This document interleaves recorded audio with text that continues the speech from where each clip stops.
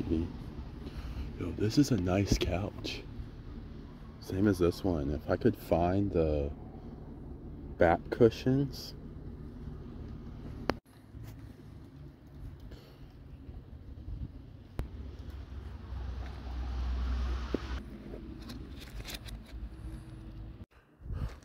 Four pieces. I'm carrying the smallest piece now and it's sopping wet because it's been raining all day. This is gonna take me forever. I live so far away from where these couches are.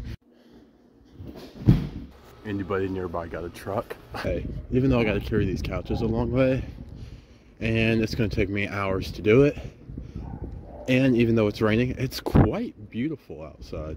These couches are heavy as heck. I hate this so much. There's my apartment, but I have to go around because there's no pavement and I'm sliding this thing on pavement. Oh my gosh.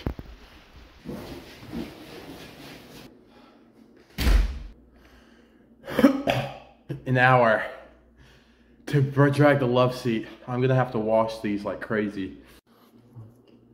I'll puke twice because I'm still sick and then try to drag that I honestly don't know if I can move the second couch in here.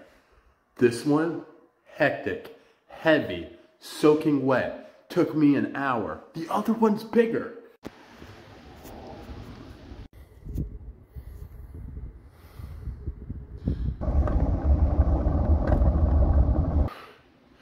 Almost there. The Way down there. There's not a single courtesy space in front of my building. Completely filled with cars. So I have to go all the way down to the other side in order just to get this thing on the sidewalk. The sidewalk.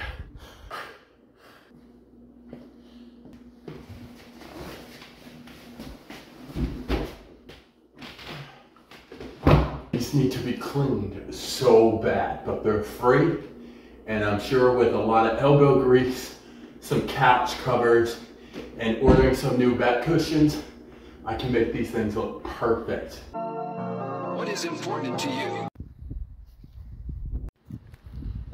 Okay, I uh, just found these four heavy-duty wooden picture frames by another trash can in Gatlinburg.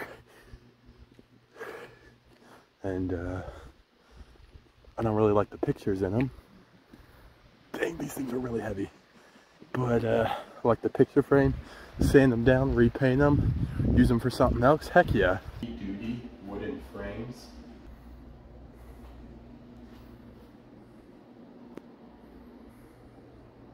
I've no long how the how long these have been sitting out, but this one's got mold growing on the paper. Buried is the name, been bullet the chain. Don't know for the watch, pleasant playing jail.